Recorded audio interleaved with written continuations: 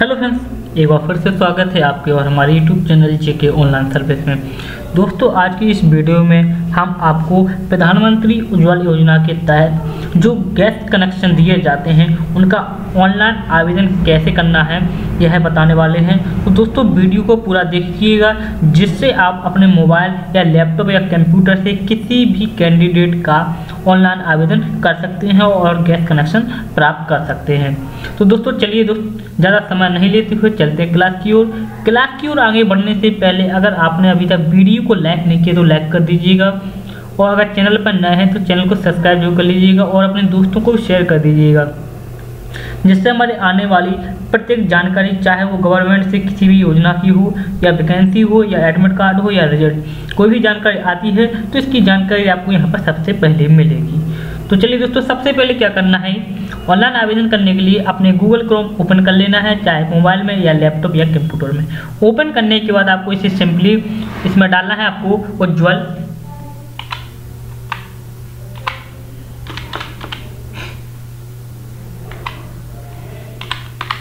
उज्ज्वल योजना ठीक है?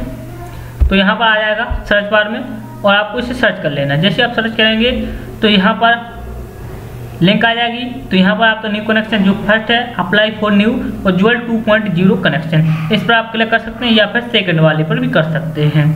ठीक है, इसकी जो डायरेक्ट लिंक है, हम यहाँ पर आपको वीडियो को डिस्क्रिप्शन में दे देंगे, जिससे आप डायरेक्ट ही यहाँ पर आ जाएँगे। यहाँ पर आने के बाद आपको इस प्रकार का इंटरफेस आएगा।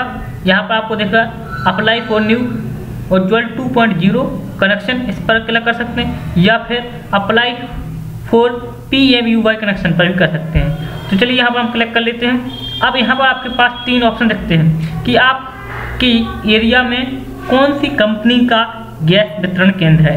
एंडेन भारत गैस या एच गैस इनमें से अगर आपके पास कोई भी रहता है तो आपको इनमें से, तीन में से कोई एक चॉइस कर लेना है। तो चलिए यहाँ पर हम आपको पहले एच पी गैस का करके बताते हैं। क्लिक हेयर टू अप्लाई इसके बाद अगर आपको चाहते हैं तो सभी को बाय वन करके भी बता देंगे। तो चलिए सबसे पहले आपको एच पी गैस तो क्लिक हेयर टू अप्लाई पर आपको क्लिक कर देना है। जैसे क्लिक करेंगे तो यहाँ पर नया रजिस्ट्रेशन ओपन हो जाएगा। यहाँ पर लिखा है आपका रेगुलर कनेक्शन रजिस्ट्रेशन यानी कि आप रेगुलर लेना चाहते हैं या उज्ज्वल योजना के तहत लेना चाहते हैं। तो यहाँ पर हम उज्ज्वल योजना कर लेते हैं। अगर आप रेगुलर लेना चाहते हैं तो इस पर भी कर सकते हैं। इसके बाद आपको नीचे स्क्रॉल करके आना है और आई एक्सेप्ट एबव डिक्लेरेशन पर क्लिक कर देना है। ठीक? जैसे यहाँ पर क्लिक करेंगे तो इस प्रकार का इंटरफेस आ जाएगा।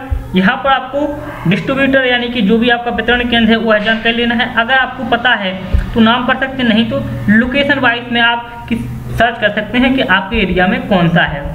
दोस्तों, यहाँ पर आप किसी भी स्टेट का भी फॉर्म भर सकते हैं।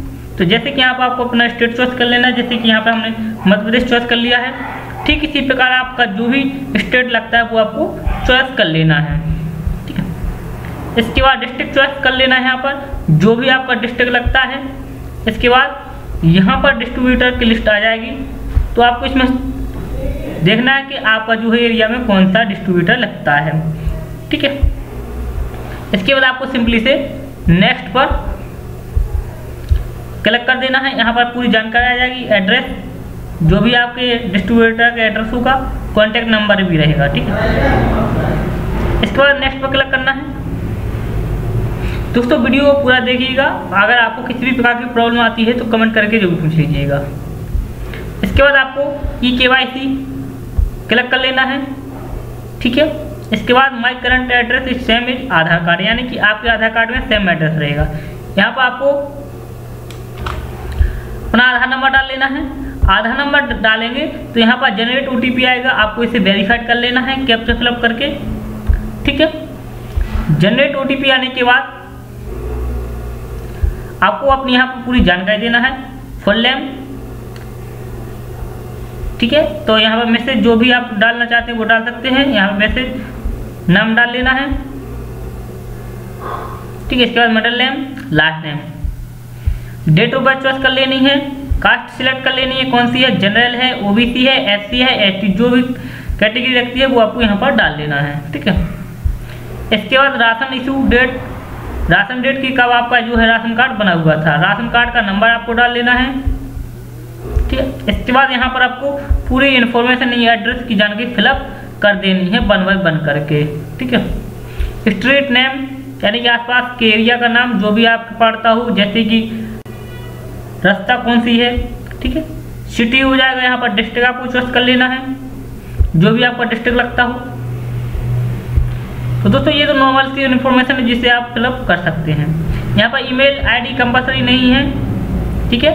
मोबाइल नंबर इंपॉर्टेंट है। मोबाइल नंबर आपको डाल लेना है। ऑफ़िस फ़ोन नंबर हो तो कोई आवश्यकता नहीं है। ठीक है? इसके बाद आपको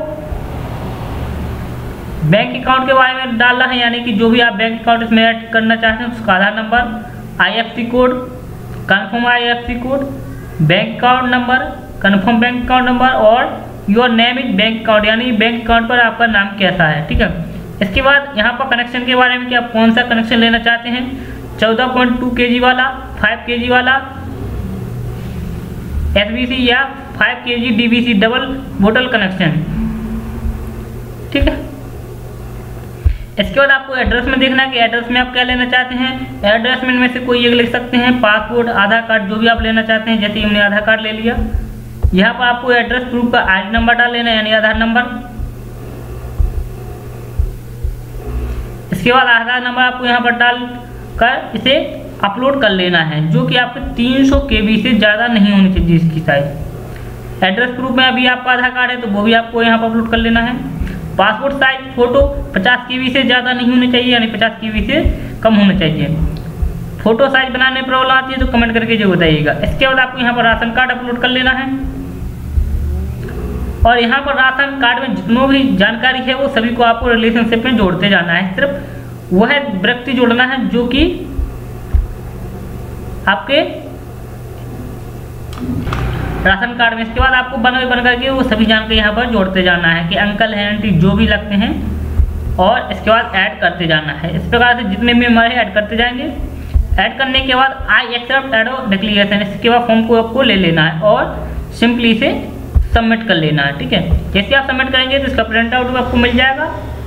और आपके जो नियर में जो गैस कनेक्शन उधार रहेगा उसके पास पहुँच जाएगा। कुछ समय पश्चात आपको उसका मैसेज आएगा तो आपको वहाँ पर जाकर गैस कनेक्शन लेना पड़ेगा।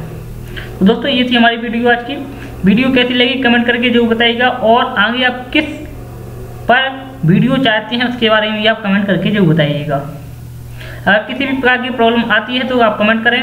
और अगर व्हाट्सएप ग्रुप में जुड़ना चाहते हैं तो नीचे व्हाट्सएप ग्रुप की लिंक भी है तो वहाँ पर भी आप जुड़ सकते हैं। Thank you for watching